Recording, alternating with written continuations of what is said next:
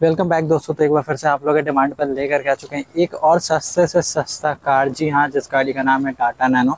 गाड़ी का कलर देख सकते हैं दोस्तों, येलो कलर की गाड़ी यानी कि पीली कलर की गाड़ी है, जो कि काफ़ी ज़्यादा अट्रैक्टिव लगती है और बहुत लोग इसी गाड़ी को पसंद भी करते हैं।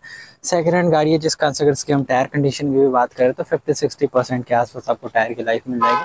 ओवरऑल गाड़ी काफ़ी ज़्यादा बढ़िया है, गाड़ी में कोई दिक्कत नहीं है। पीछे से आप लोग देख सकते हैं, इस वाला मॉडल में आप पीछे से बूट इसका ओपन नहीं कर सकते, क्योंकि इस मॉडल में आते ही नहीं थे दोस्तों। और अगर हम बात करें उसके और भी कुछ कुछ फीचर्स की तो और कुछ कुछ फीचर्स में जो टॉप मॉडल में फीचर्स आती थी, लगभग सारी फीचर्स आपको इसमें मिल जाएँगी। फीचर्स में कोई भी दिक्कत आपको गाड़ी के अंदर नहीं मिलेगा।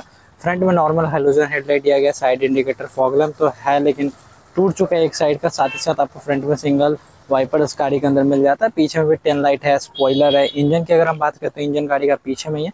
और गाड़ी रजिस्टर्ड की अगर हम बात करें तो एम एस रजिस्टर्ड है जी। हाँ महाराष्ट्र से जो गाड़ी रजिस्टर्ड है हालाँकि गाड़ी का जो एन होता है, वो अवेलेबल है सो आपको कोई दिक्कत नहीं होगी गाड़ी लेने के बाद। और पीछे से आप देख सकते हैं, पीछे भी काफ़ी बढ़िया स्पेस है, पीछे में आप दो तीन लोगों को बहुत ही आराम से बैठा सकते हैं, बिल्कुल कंफर्टेबल तरीके से।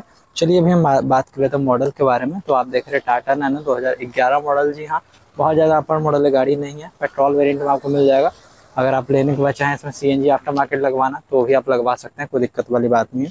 किलोमीटर की बात करें तो दोस्तों, गाड़ी है, साठ हज़ार किलोमीटर चली हुई है। जी हाँ सिक्सटी थाउज़ेंड किलोमीटर जो गाड़ी है चल चुकी है। यार, इसमें मैनुअल दिया गया ऑनरशिप की बात करें तो सेकंड ऑनर गाड़ी है, आप जब लेंगे तो बन जाएँगे इस गाड़ी के थर्ड ऑनर वहीं अगर हम बात करें गियर की तो इसमें आपको मैनुअल गियर दिया गया।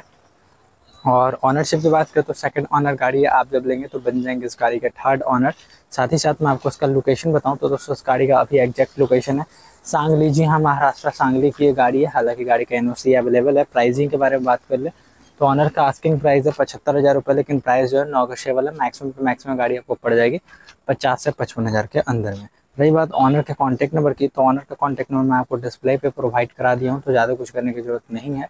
डिस्प्ले पे दिए गए नंबर पर आपको कॉल करना है डायरेक्टली आपको ऑनर से बात हो जाएगा। जो भी आपको गाड़ी के बारे में पूछना हो बात करके पूछ सकते हैं। एंड जाके एक बार गाड़ी को ज़रूर देखें। देखने के बाद अगर आपको पसंद आए तो बिल्कुल आप ले सकते हैं। आज के इस वीडियो में बस इतना ही। वीडियो पसंद आई तो उसको लाइक करें, चैनल पर तो चैनल को सब्सक्राइब करें। हम मिलते हैं ऐसे नई वीडियो के साथ।